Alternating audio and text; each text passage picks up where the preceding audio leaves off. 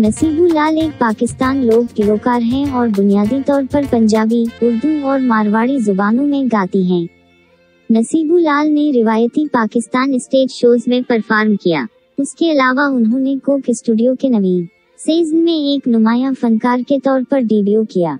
नसीबुल्लाल ने आयमा बैग और यंग के साथ पीएसएल का गाना गर्वो मेरा भी गाया।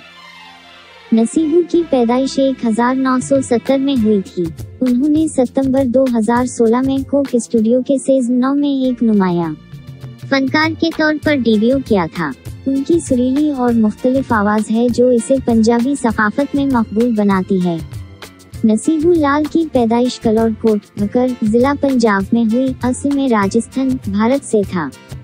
नसीबू ने कम इमरी में ही गिलोकारी का आगाज़ किया और शहरत हासिल की। उनके करेट में बहुत से हट गाने हैं। चंद लोगों ने उनकी मज़बूत और ताकतवर आवाज़ का मवाजना मैडम नूर जहाँ से भी किया। नसीबू लाल दुनिया की बेहतरीन खातून गिलोकारा उन्होंने 100 से ज़्यादा एल्बम्स रिकॉर्ड किए और लामहदूद गाने गाए।